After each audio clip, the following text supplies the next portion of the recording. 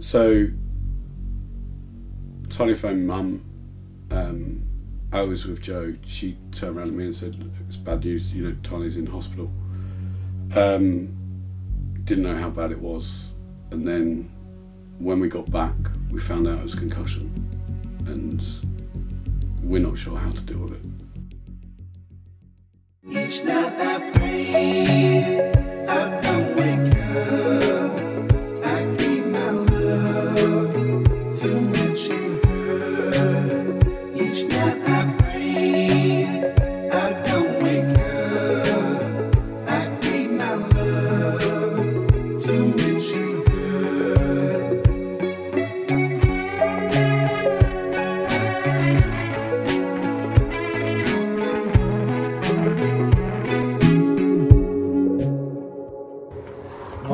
Loads of coins. What coins do you want? Take whatever coins you want. Take four quid. Four quid? I can't, can't afford that. Yeah, take that. It's not like just a company over here and you turn up and like do some stuff sometimes. It's like when you're away, it's like you're away as a family. I can't believe we got this far. I pinch myself, it feels so I wanna know what's on your mind. Are you oh. doing fine? Let's give 'em hell. It's further than your last shot. Eh? Have you heard something more? Found what you're looking for? Like I love going away with them, with the team. I know that every time I go away it's going to be good. Everyone's like super happy and positive and like enjoying it.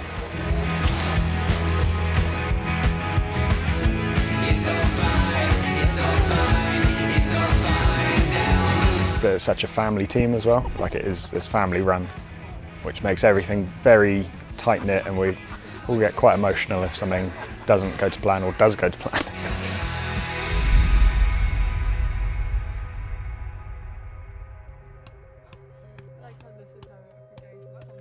I was actually there when um, when Tahnée went down, um, the crash that, that caused the, the concussion and the symptoms.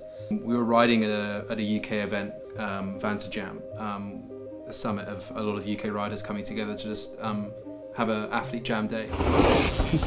Yes, Tahnée. Oh, oh, she's down. Oh God. Tahnée very simply came up short on a jump and got bucked, came up short on the jump, got bucked, and went over the bars and went down pretty hard. Yeah, just something didn't feel quite right. Like normally after a slam you kind of get back up and brush it off and you start to feel better as like the night goes on or like you don't feel great but it's you get, you get like a typical feeling. Like I've, I've hit the deck so many times that I know what it, it's going to feel like. You right, Tahnée? but that was just different. Like it felt like there was something in my head that just wasn't making sense. You know, I was in the car with her when I took her to the MRI, and to see her kind of just falling apart in front of my eyes was probably one of the hardest things I've dealt with. So, you know, obviously, Fort William's out. You know, there's no way she can take part. And to be honest with you, at one point, I didn't even know whether she'd be kind of fit enough to walk into a crowd. Yeah, I decided to go to Fort William just because I think I wanted to be with the family, I wanted to be with the team, they make me laugh, I feel comfortable there. So it was either that or I stayed at home alone and there was no way in how I was staying alone at that point. Like I say, just any, any bit of stress for me has just been like, absolutely not until now because just my brain couldn't handle it.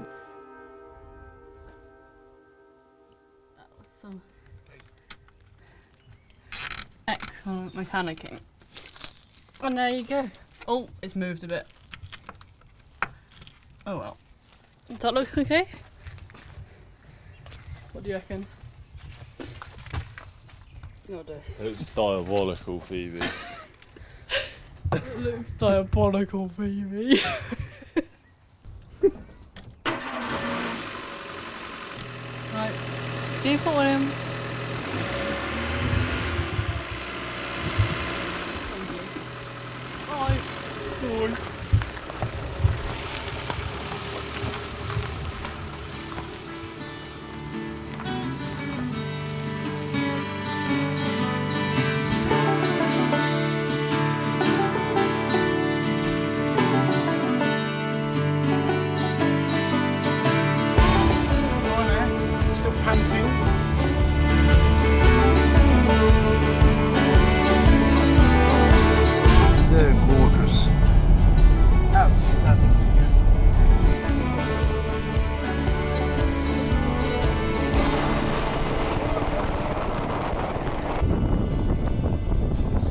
driving is so much easier, a lot easier.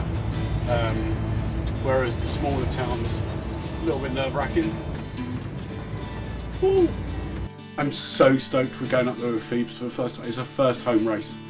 You know, um, it's Dennis's first time in league, and Kaos is just coming on stronger and stronger. And not only that, you know, when he doesn't do well, the role that he takes to look after the others and make sure they're doing well. I'm pumped for William, and I can't wait to get up there. Dude, are you seeing that? Go on. Hold on, when did that happen? Why have you not said anything? I haven't found the words to tell you. I haven't found the words. How about? Oh, I crashed my car. Uh, so uh, bad. Then Have a look at Phoebe's car. Like, just didn't stop. Into a fence post. You know when it doesn't do that next time. What the fuck did you do?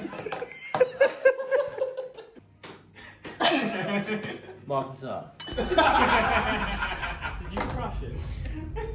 That's a big wreck. That's a huge wreck. That's not look. That's not. Ooh, that's not a big wreck.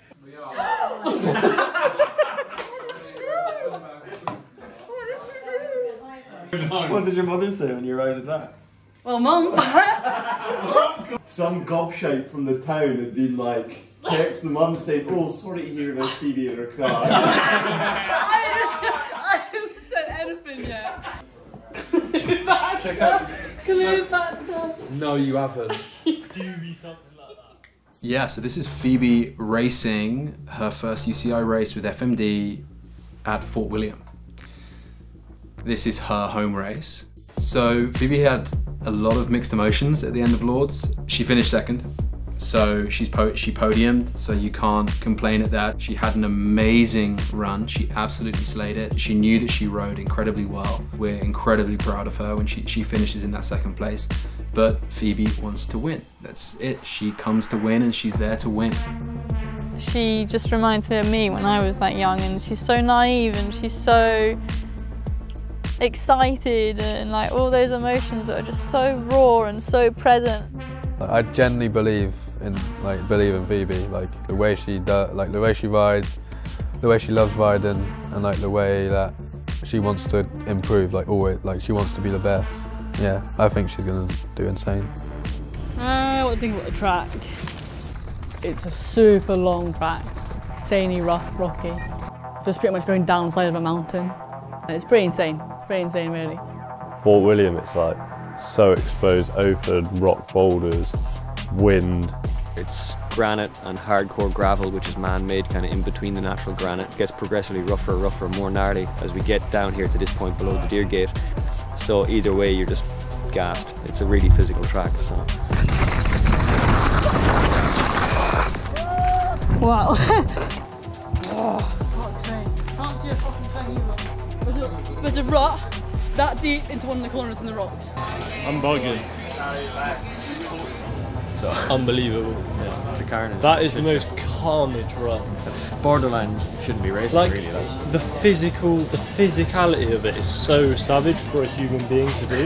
You have to like enter a different mindset. I feel like.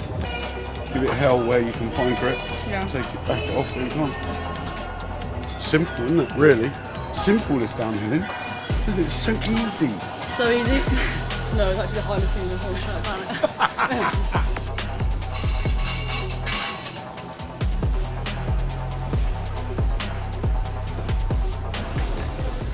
Well, can I have one bit without a camera? Kaos has got a bit of an issue going on with his shoulder. Guess he took a crash at Darkfest and then hasn't really healed up. Fort William's a super physical track. He's not feeling anywhere near 100%, can't really hold onto the bike. Feeling the pressure as well of like, what am I, what am I delivering if I'm here but not racing? Why do you want to do this? I love it. We don't see that. If we're being honest, we don't see that anymore.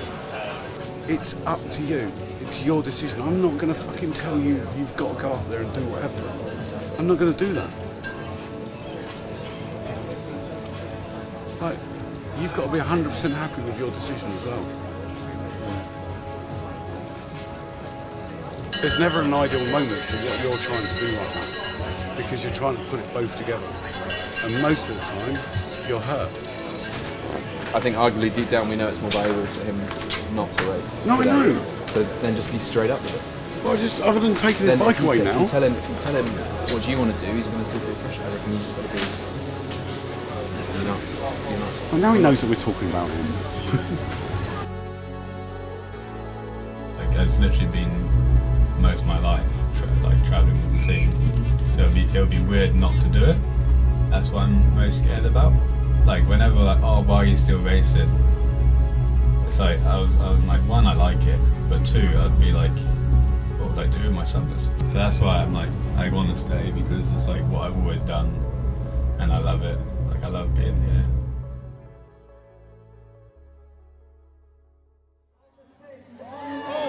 Oh, Phoebes is right behind! Come on! Motherfucker, I've been mortified, 45, feeling like a Mordecai. I ain't regular, feel like Jordan wearing 45. Traumatized, victimized, seen some of my niggas die. Knock you off a base with a bat when them niggas slide. Homicide, genocide, televised, emphasize, perpetuating war to that nigga, he gon' pick a side. Hood ties from hood life, my niggas doing dope lines. Don't run into the cops, that's a bitch, nigga, ain't inside. Uh, don't run into the cops, that's the motto. I don't see it coming to Oh, fuck, Amy second. Like 13 seconds. 13 seconds. The guys went very well today. Phoebe uh, qualified first um, with a gap of 13.5 seconds as well, which is an absolute lead um, and gives her a lot of room to play with. Happy, very happy. Yes, very happy. Uh, pretty tired, but I'm pretty stoked and we got a bit of work to do for tomorrow. You might need to put subtitles on that bit. I think you might have to have subtitles for like, all my sections. At least you're moving your mouth now. My mouth is moving. Yeah, see, that? oh look, we understood that. Not when you go like there, we don't understand when you just go like there.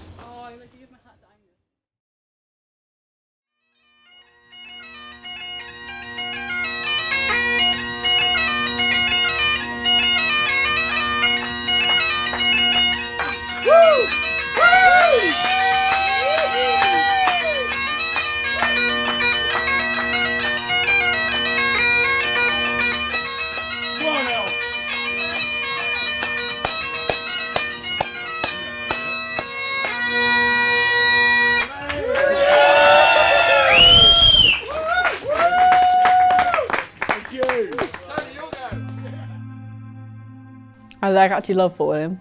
Like so many people hate it, but I love it. Being in Scotland and stuff, like it's sick. It's so cool. Not like many other tracks, I don't think, really. I think I did my first Fort William race when I was like 11, 12.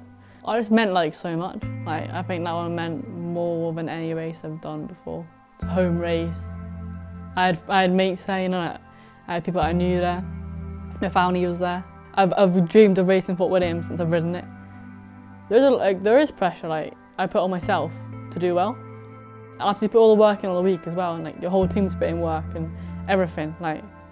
But then if it doesn't go right, it's just like one run can literally make you like insanely happy. or just like not stoked at all really.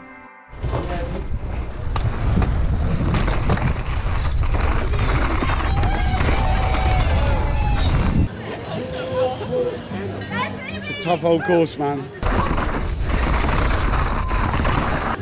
Can be brutal. Oh. We'll just have to wait and see.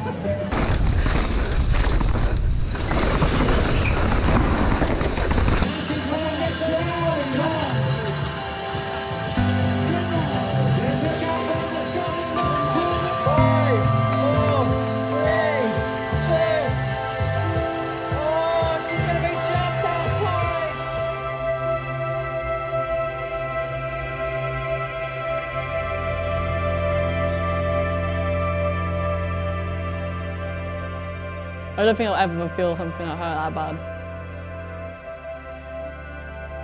Uh, you feel like kind of lost in a way, like empty. You're just like you're kind of shocked at what happened.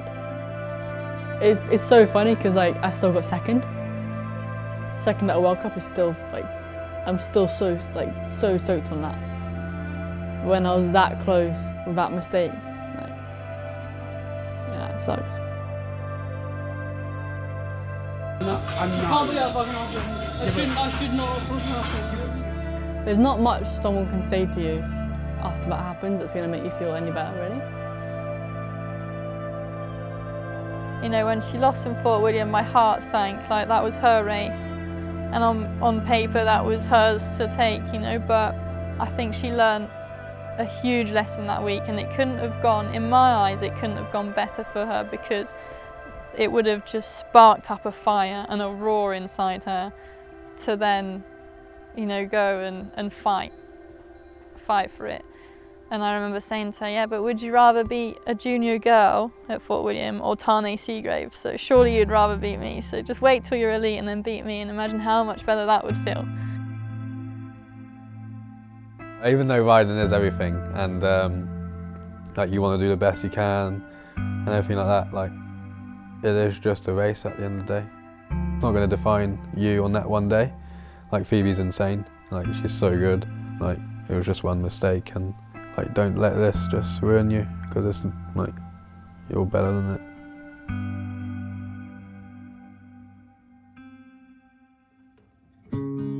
I don't start missing the team and stuff for sure when I'm back home. Yeah, I just like miss the whole vibe of the team, I think. We're all kind of like a big family when we're away. Like, we're super close. I'm always like super excited to go away, you know, like I know it's gonna be a good time. Even like coming down to Wales and stuff, I just know when I'm with people in the team, I'm gonna have a good time. Everyone, everyone there is enjoying what they're doing, you know, they're there for a reason, it's because they love it. It means so much to me. Like it's been it's been my life for God knows how many years now. I love the friends that I've made with it, like the like other family members that I've made. If I was on a different team, fucking hell, I would have left like God knows how many years ago. But because of the team and because of the environment and because of how we are as one big family, I never wanted to leave it. It's extremely rewarding and not just results wise. You know, the reward can come from just happy people. And as long as you've got happy, stoked people in what you're doing, if people are stoked to be within that team and that team that you've created, then job's done. My whole life has been dedicated to my team. When that kind of felt like it was taken away and I, I felt super lost, I felt like my identity had just gone. As a father, I'm praying she's okay. Uh, and as a team, you know, we're praying that she's okay. And she's now just wanting to get back to, to being Tahnée. And at the moment, she's definitely not. So hopefully, beyond Fort William, we'll, we'll see Tahnée come back.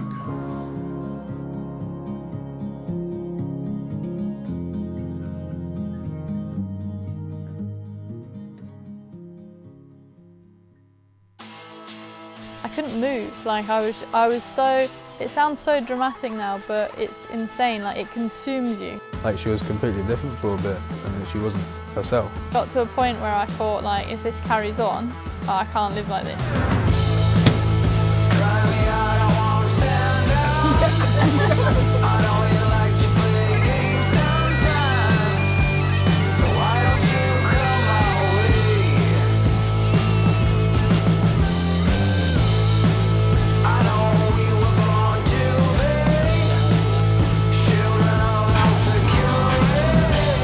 Fucking seen this here, the lawn Loch Ness monster pie.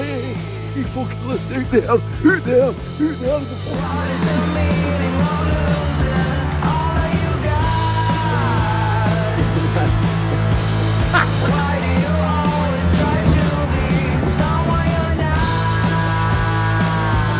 My money don't jiggle, jig- jiggle, jiggle, it folds. I like to see you wiggle, wiggle, for sure.